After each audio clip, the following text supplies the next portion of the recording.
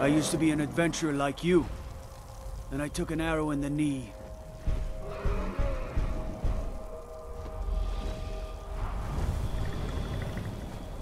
What is it? Dragons?